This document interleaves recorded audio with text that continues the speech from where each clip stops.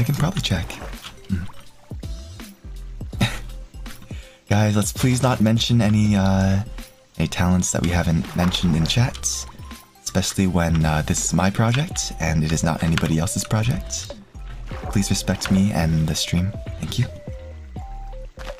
I know that it'll probably inevitably happen anyways, but I, I still feel like I should say something about it, you know?